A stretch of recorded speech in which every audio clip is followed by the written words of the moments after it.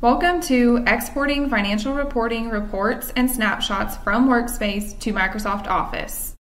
To export a report or snapshot to Microsoft Excel, Word, or PowerPoint, log into the EPM workspace and select Explore.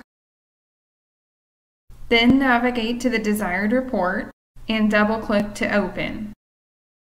Select Export in Query Ready mode to export a grid on the report as Query Ready.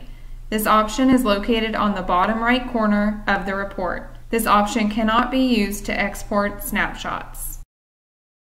This report is now in Query Ready mode. Select File and then Export to use other export options. Then select a submenu command. Select Excel to export the current financial report as formatted HTML. A report with a page dimension like this report will export all pages to Excel.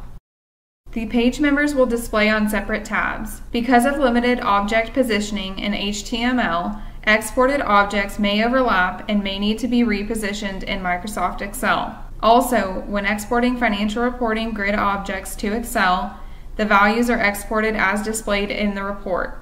The desired number of decimal places for precision should be set in the report before you export. Select Word to export the current report to Microsoft Word. The report will be exported to Microsoft Word as a static image. Select PowerPoint to export the financial report to Microsoft PowerPoint as a static image. Similar to Excel, a report with a page dimension, when exported to PowerPoint, displays each page member on a separate slide. That concludes this reference video of exporting financial reporting reports and snapshots from Workspace to Microsoft Office.